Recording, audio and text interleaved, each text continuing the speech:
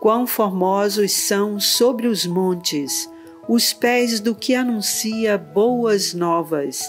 que faz ouvir a paz, que anuncia coisas boas, que faz ouvir a salvação, que diz a Sião: O seu Deus reina. Isaías 52, 7